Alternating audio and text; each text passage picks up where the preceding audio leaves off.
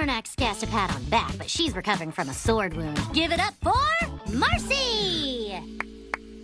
Thanks, Kiff. I think you're so talented. How talented! Oh, that's it. I just think you're really talented.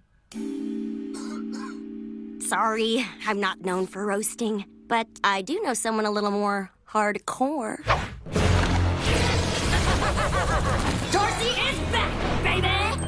Dr. Doof.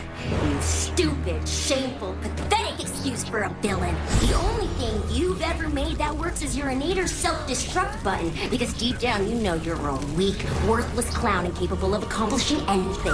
I could mold a firmer backbone from an expired tub of cream cheese, which is coincidentally the only thing in your sad, bachelor fridge because your wife left you. A tone change. You say that Perry the platypus is your greatest enemy, but if you really want to meet your greatest foe, all you have to do is look in the mirror! Thanks, Sasha. That was a bit much.